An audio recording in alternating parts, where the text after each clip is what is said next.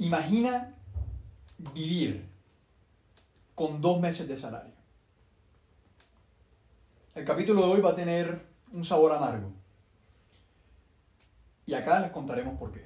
Imagina tener que salir a trabajar todos los días, sin una sola garantía laboral. Para las jugadoras de nuestra liga femenina, esto es el día a día. El tema de los contratos laborales para nuestras jugadoras ha sido más que una simple lucha por mejores salarios. Recordemos que estamos hablando de jugadoras profesionales. Esto no es una liga amateur. El 77% de los clubes empezaron sus entrenamientos con las jugadoras sin el más mínimo tipo de remuneración, ni de seguridad social, ni siquiera un contrato laboral fijo. Nada. Hoy, en la plancha de fútbol y con mucha seriedad, estaremos hablando sobre los contratos laborales de nuestras jugadoras en el fútbol profesional femenino colombiano. Sudando la camiseta es lo más importante y no miento.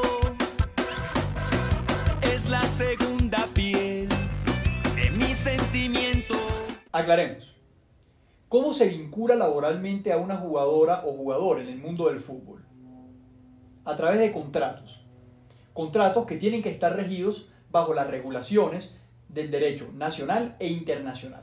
En Colombia no existe una ley específica que regule este tipo de actividades, por lo que debe entonces estar ligado al Código Sustantivo del Trabajo. Este nace con el fin de proteger la relación que se da entre empleador y empleado, en este caso entre club y jugador. En pocas palabras, funciona algo así como una legislación vigente para todos los trabajadores.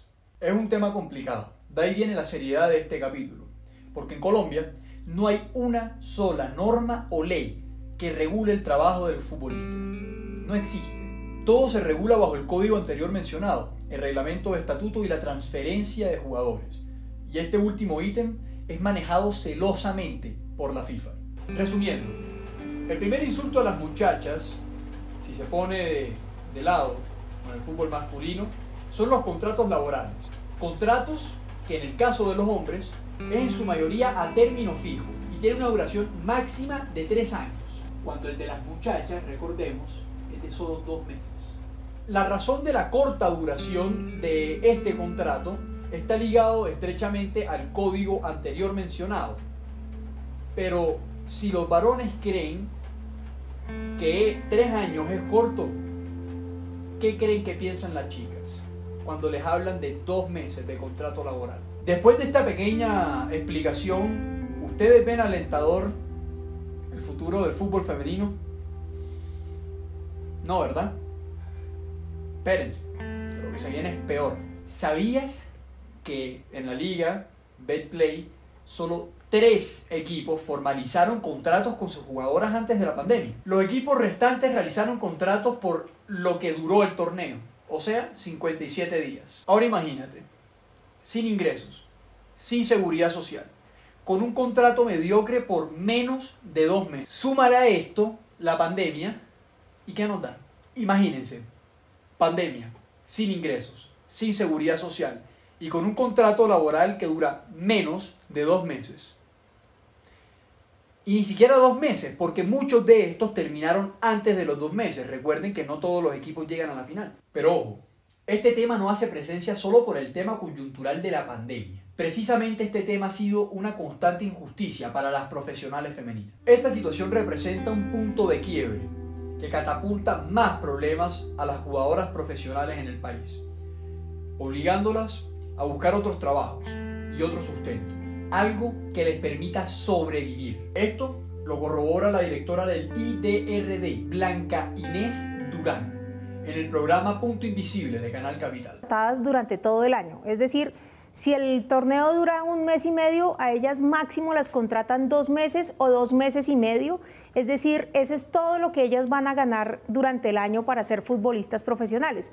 ¿Qué hacen el resto de los nueve meses? Pues van a tener que dedicarse a otras actividades hasta que finalmente van a tener que dejar el fútbol por no poder tener ingresos de los cuales vivir. Es frustrante saber que no se puede ejercer la profesión soñada por algo tan ridículo como la falta de garantías. por contratos que no les permitan vivir el anhelado sueño de ser futbolista. Como lo menciona la jugadora Manuela Costa en el mismo programa de Canal Capital. Esto fue lo que dijo. Y, eso pues simplemente reflejo de las condiciones que nosotras tenemos al ser o al elegir querer ser futbolistas profesionales.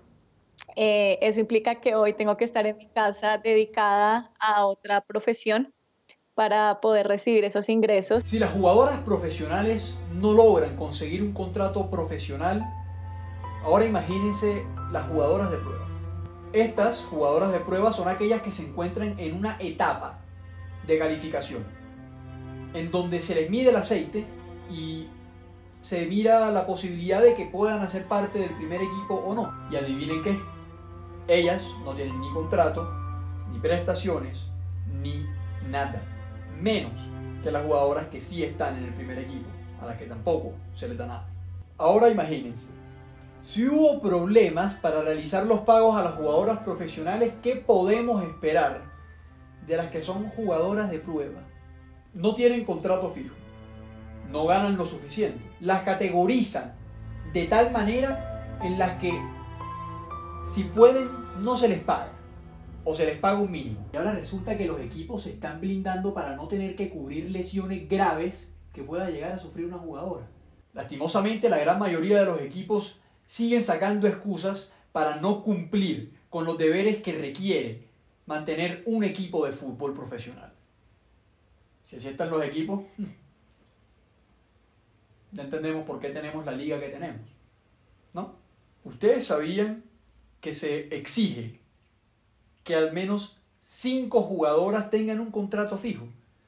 O sea, que si un equipo quiere, solo le da contrato a cinco y deja al resto de las jugadoras sin contrato fijo. Existe un problema aún mayor. Si una jugadora llega a lesionarse de gravedad, y escúchese bien, de gravedad, el club estará obligado a cubrir los gastos médicos de la jugadora, porque a fin de cuentas fue una lesión que sufrió mientras laburaba. Se está buscando que en este momento se desligue la responsabilidad del club hacia la jugadora lesionada, con la intención de que la lesión puede exceder los dos meses de contrato que esta jugadora firmó. ¿Ustedes qué me tienen que decir al respecto? ¿Qué piensan allá en casa? Es increíblemente desalentador cómo las jugadoras profesionales no terminan su carrera por una decisión personal, sino que lo hacen por factores externos, por la falta de salarios, por la falta de garantías. Aquí, en la plancha del fútbol, apoyamos y seguiremos apoyando con fuerza a la justa contratación de las jugadoras profesionales en Colombia, para que nuestra liga sea competitiva y se pueda considerar una liga. Creemos firmemente que las guerreras del fútbol profesional colombiano se pondrán de pie y sacarán adelante esta situación. Se debe reconocer el trabajo individual y colectivo de cada una de las jugadoras y el valor que aportan a la formación de una verdadera liga de fútbol profesional femenina en este país. Yo soy Juan Sebastián Bayona. Junto con la Caprichosa nos despedimos de ustedes en la plancha del fútbol. Hasta luego importante y no miento. Es la segunda